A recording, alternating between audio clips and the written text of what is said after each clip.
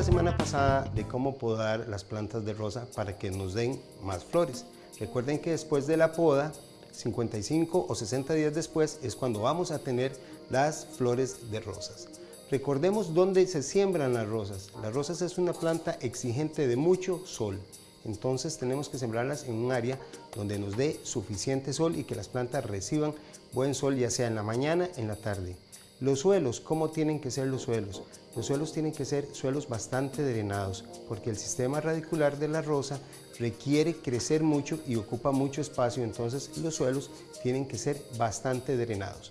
Después tenemos que tener mucho cuidado en manejar lo que son las malas plagas que pueden ser insectos o que pueden ser hongos. En este caso yo quiero demostrarles en este tipo de, en esta rosa, cómo deben ustedes atomizar con insecticidas y fungicidas las rosas, porque muchos de los insectos se esconden en el envés de la hoja, en la parte de abajo de la hoja, en esta parte, los insectos en su mayoría se esconden. Cometemos los errores de nosotros atomizar de arriba hacia abajo en esta forma atomizamos de arriba hacia abajo.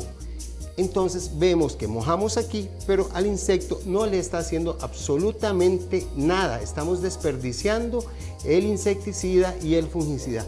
En la mayoría de plantas y en las rosas, más que todo, ustedes tienen que atomizar de abajo hacia arriba.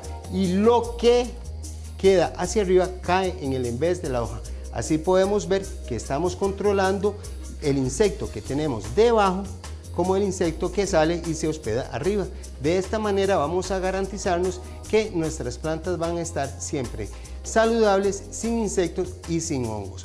Hoy aprendimos cómo atomizar las plantas de rosas con insecticidas y con fungicidas.